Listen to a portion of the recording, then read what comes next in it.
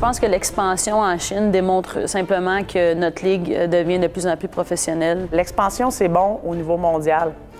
Euh, on veut que les, les, autres pays continuent à, à, se développer pour que justement on ait plus de compétition. C'est toujours bon parce que ça fait des matchs en plus, ça fait plus de compétition. Puis pour le développement du hockey féminin en général, pas, pas juste au Canada, je pense que c'est une bonne chose. Je pense que ça a amené beaucoup de visibilité à notre sport. Ça va être bénéfique pour tout le monde, que ce soit pour elle ou pour nous. Puis ben, on voit que la Ligue s'agrandit, puis là, ben, on est rendu en Chine. Qui sait, peut-être l'année prochaine, ça va être en France ou ça va être dans un autre pays, mais le but, c'est vraiment, on veut agrandir notre Ligue, puis on veut que tout le monde sache qu'il y a des filles qui jouent au hockey, puis c'est du beau hockey.